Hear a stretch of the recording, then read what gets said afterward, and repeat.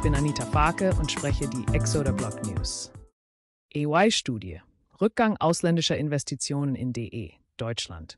Erlebt Rückgang ausländischer Investitionen laut EY-Studie.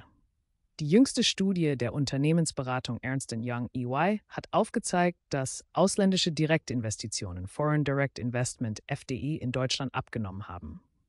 Diese Erkenntnisse werfen neue Fragen über Deutschlands Position als führendes Ziel für internationale Investitionen auf. Laut dem Bericht hat die Anzahl der ausländischen Direct Investment Projekte in Deutschland im Jahr 2023 um 13 Prozent abgenommen.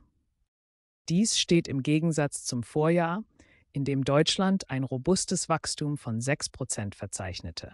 Der Bericht weist darauf hin, dass dies das erste Mal seit fünf Jahren ist, dass Deutschland einen Rückgang bei ausländischen Direktinvestitionen verzeichnet hat. EY zitiert mehrere Faktoren, die zu diesem Trend beigetragen haben könnten. Es wurde festgestellt, dass der anhaltende Handelskrieg zwischen den USA und China, der Brexit und die sich abschwächende globale Wirtschaft alle eine Rolle spielen könnten. Die Studie weist jedoch darauf hin, dass Deutschland im Vergleich zu anderen Ländern weiterhin gut abschneidet, insbesondere im Bereich der Hightech-Industrie, in der es im Jahr 2023 weltweit auf dem vierten Platz steht. Dies unterstreicht, dass Investoren trotz der jüngsten Rückgänge weiterhin überzeugt von den Leistungen der deutschen Wirtschaft sind. EY fordert Deutschland und die EU dazu auf, ihre Bemühungen zur Förderung von Investitionen zu verstärken, um den aktuellen Trend umzukehren.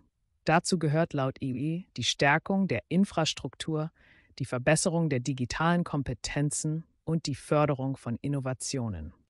Die EY-Studie dient als Weckruf für Politiker und Unternehmensführer in Deutschland und präsentiert eine klare Agenda zur Stärkung der Attraktivität des Landes für ausländische Investoren.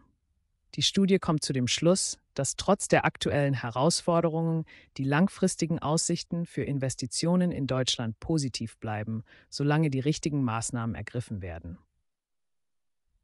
Quellen: Studie der Unternehmensberatung Ernst Young, Anita Farke. Donnerstag, 2. Mai 24.